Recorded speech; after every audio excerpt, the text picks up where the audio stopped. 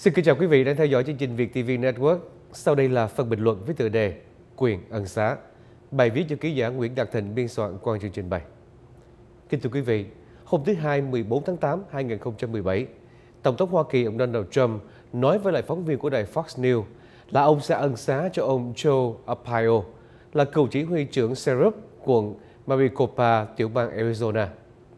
Ông này phạm tội khinh mạng tòa án, bất chấp án lệnh của tòa, cấm ông không được tiếp tục bắt giam những người ông mới chỉ nghi ngờ là cư dân bất hợp pháp mà chưa có một bằng cớ nào chứng minh điều ông nghi ngờ. Chánh án liên bang Susan Bolton đã ký lệnh truy tố ông Apayo. Tuy nhiên, ông sẽ không cần ra tòa. Và nếu Tổng thống ký lệnh ân xá và Tổng thống lại là một người tôn trọng tình nghĩa, ông đã ân xá là ông sẽ ân xá.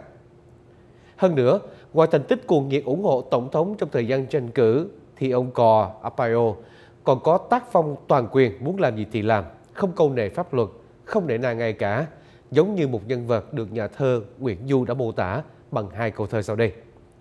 Chọc trời quấy nước mặt dầu, dọc ngang nào biết trên đầu có ai. Ở tại khám đường Ten CD, một trong những cơ sở đặt dưới quyền chỉ huy của ông, ông đã treo một cái bảng quảng cáo với chữ viết vacancy, tức là còn chỗ trống, và khẩu hiệu I do it my way, tức là tôi làm theo kiểu riêng của tôi. Nhiều lần Tổng thống cũng tỏ ra có phong độ hiên ngang do it my way đó. Hôm sau, thứ ba 15 tháng 8 2017, tại Trump Tower ở tại New York, thì Tổng thống lại tuyên bố là cả hai phe tham dự cuộc xô xát ở tại Charlottesville, Virginia đều đáng trách bởi vì phe mà ông gọi là thiên tả chống biểu tình kéo đến tấn công phe thượng tôn người Mỹ da trắng trong lúc phe này đang biểu tình để đòi giữ lại bức tượng để kỷ niệm một tướng lãnh của thời nội chiến Hoa Kỳ. Kiến trúc mà Hội đồng thành phố Charlottesville quyết định là phá hủy. Và đó là lần thứ nhì Tổng thống thay đổi lập trường, trở lại với lập trường tuần trước, chỉ trích nhiều phe gây ra cuộc xô xát chính trị. Và ông đã bỏ lập trường hôm thứ Hai, buộc tội nhóm quá khích da trắng. Ông nói, võ trang bằng gậy gộc, họ đã choảng nhau một cách kịch liệt và phe thiên tả hung hăng tấn công phe kia. Nói một cách khác, ông đã kết tội phe chống biểu tình đánh trước và chịu trách nhiệm về những gì đã xảy ra, kể cả việc cô Heather Heyer đã bị anh James Alex Fields cán chết trong lúc anh lái xe ủi vào một đám đông người chống biểu tình.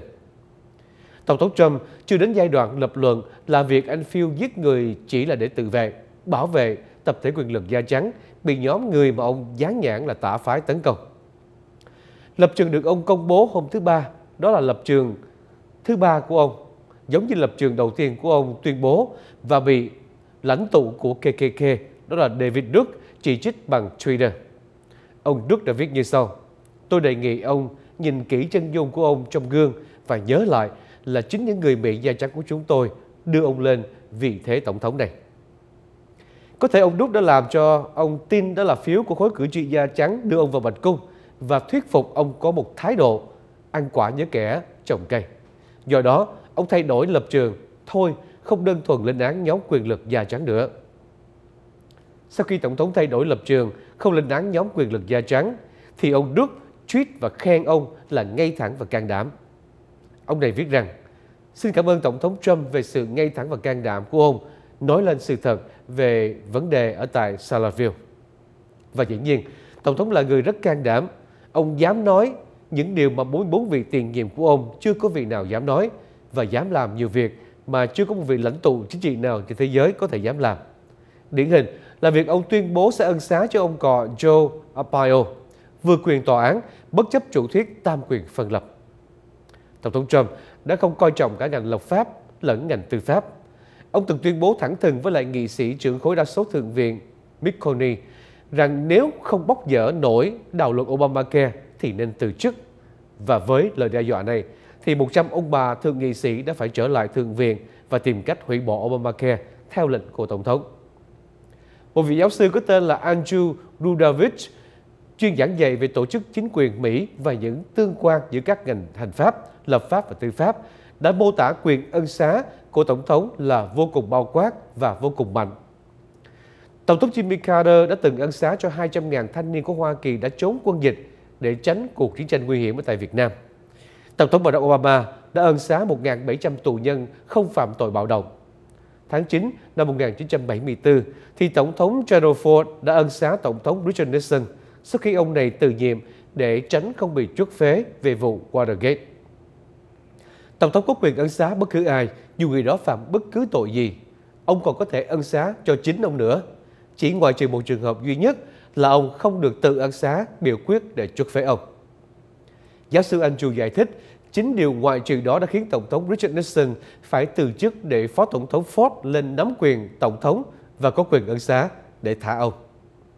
Năm đó, truyền thông của Hoa Kỳ không bị chê là bọn fake news, tức là bọn tin giả, cho nên họ vận động thành công. Việc đòi tân Tổng thống Ford ra giải thích trước Quốc hội xem ông có toa rập với lại cựu Tổng thống Nixon để đánh đổi chức vụ Tổng thống lấy cam kết ân xá hay là không. Hậu quả của sự toan rập đó là đảng Cộng Hòa mất 50 ghế quốc hội trong cuộc bầu cử giữa kỳ của năm 1974 và hai năm sau thì Tổng thống Ford thân cử. Việc Tổng thống Trump có thể phải từ chức để tránh bị truất phế và truy tố như là Tổng thống Nixon đã từ chức thì sẽ không xảy ra, ít nhất là trong hai năm tới. Thời gian mà các chính khách Cộng Hòa còn quyền kiểm soát của Quốc hội.